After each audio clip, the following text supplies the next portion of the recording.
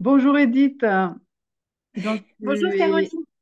tu es euh, praticienne de la reconnexion et du reconnective healing et je voulais te poser la question, avant et après la formation, y a-t-il eu une euh, différence, un- un vrai changement pour toi? Eh bien, je m'en suis pas rendu compte tout de suite du changement. Il y a eu un vrai changement, mais je m'en suis pas rendu compte tout de suite parce que quand on revient de stage, euh, bah, ça, m'a fait un peu comme d'autres stages quand on revient de stage. Mais là où je me suis rendu compte euh, du changement, c'est dans ma manière de parler d'interagir avec les gens et de parler aux gens. Il y avait comme, j'avais comme une clarté, une lucidité, une que j'avais pas avant et que j'avais pas non plus que j'ai pas eu non plus après un reconnective healing. Parce qu'un reconnective healing, ça peut amener ça. Mais en fait, comme la formation, ça fait comme un bain de reconnective healing, ben, c'est comme si ça me l'a fait. euh, Il y a quelque chose qui s'est vraiment ancré, une clarté qui s'est installée. Installée, oui, installée. Et ça, c'était vraiment quelque chose de chouette. Et après la formation euh, de la reconnexion personnelle, tu as changé, tu as, il s'est passé quelque chose d'autre? Alors, j'ai fait les deux euh, l'une à la suite de, l'autre. Mais il y a des choses, je sens que c'est plus lié à la formation du reconnective healing et des choses qui sont plus liées à la formation de la reconnexion personnelle. Et donc la reconnexion personnelle, euh, ça a fait que je me suis sentie encore plus euh, compétente.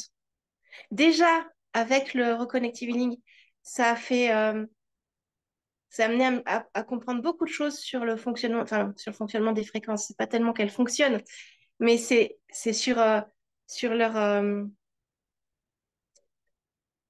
sur ma manière d'interagir avec eux et comment ça permet aux autres personnes d'interagir, aux clients et aux personnes que, à qui je propose des reconnective healing. Et la reconnexion personnelle, comme c'est très très précis, c'est une autre ambiance, mais ça m'a fait me sentir vraiment... euh, J'étais bluffée euh, à la fin de la formation, à la fin de deux jours de formation, d'être capable de, de tracer les 108 points et lignes. Quasiment sans fiche, quoi. Oui, parce que pour les personnes qui ne connaissent pas, bien sûr, en fait, euh, la formation Reconnective Healing, en fait, on apprend quelque chose dont la forme est complètement libre. C'est l'accès au champ euh, des fréquences du, du champ du point zéro, de- du, du champ de, unifié. Alors que le- la formation à la reconnexion personnelle, c'est une formation où effectivement on apprend euh, un protocole très précis de, de lignes et de points qui est long et oui, effectivement, oui. Bah, disons que la, la- le reconnective healing, on désapprend beaucoup de choses sur l'énergie. Enfin, pour moi, ça fait quelque chose comme ça. C'était plutôt désapprendre des choses des, et, me sens, et trouver plus de, de liberté, de présence et finalement de puissance. Enfin, il y a quelque chose de puissance de moi. hein. Euh, je pense pas que ça me fasse que les fréquences soient plus puissantes. Ça n'a rien à voir avec moi. Mais c'est, il y avait, c'était comme si, si j'enlevais des, des couches de croyances que j'avais sur les énergies en général ou sur les soins énergétiques ou sur ces choses-là. Et, et je me suis sentie euh, libre de ça et, et compétente. Et avec, euh, le euh, avec la reconnexion, la formation à la reconnexion personnelle, c'est différent. C'est, c'est- effectivement, c'était plus euh, technique, précis. Qu'est-ce que tu pourrais dire à des personnes qui doutent qu'on puisse être formé en deux jours Bah, venez essayer, vous verrez.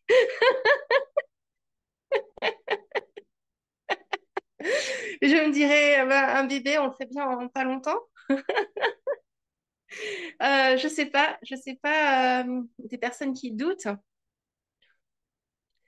Parce qu'habituellement, les formations, c'est beaucoup plus long. Donc, Oui. euh, donc co- comment tu, qu'est-ce que tu peux dire à ce propos? Ben, dans d'autres formations, il y a beaucoup de protocoles à apprendre, il y a beaucoup de, de choses à apprendre. Et si je fais ci comme ça, et comme ci, et comme ça. Euh,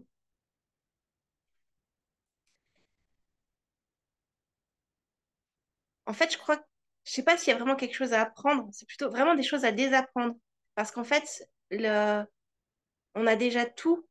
Enfin, je savais déjà tout quelque part, mais ça m'a permis déjà de me rendre compte que je savais. Ça m'a permis surtout de l'expérimenter et ça m'a permis de euh, vraiment de prendre conscience. Bon, et les personnes qui ont l'impression qu'elles savent déjà tout, ça vaut quand même le coup de venir parce qu'en fait, euh, souvent, on se rend compte que. Enfin, moi, je me suis rendu compte qu'en fait, je savais rien. Enfin, comment dire? À la fois, je me suis rendu compte que je savais tout, mais que. Enfin, d'abord que je savais rien, mais qu'en fait, je savais tout. C'est plutôt dans, dans cet ordre-là. Et donc, finalement, c'est pas si long que ça à se rendre compte. Enfin, la, la formation, elle est vraiment hyper bien pensée et, et on apprend, on fait les choses pas à pas, quoi. Et ça, c'est vraiment quelque chose qui m'a plu. D'accord, bah, écoute, merci beaucoup. Mhm. À Merci, bientôt. À À bientôt. On se retrouve euh, à Rambouillet au mois d'octobre pour la formation. C'est ça. venir avec moi. Donc, à très bientôt.